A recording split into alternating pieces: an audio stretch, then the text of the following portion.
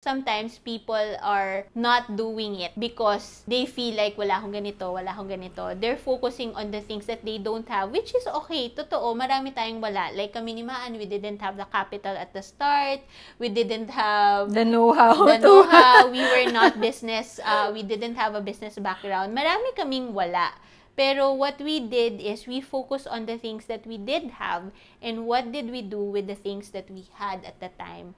And that's how we started Pop Chunk Club.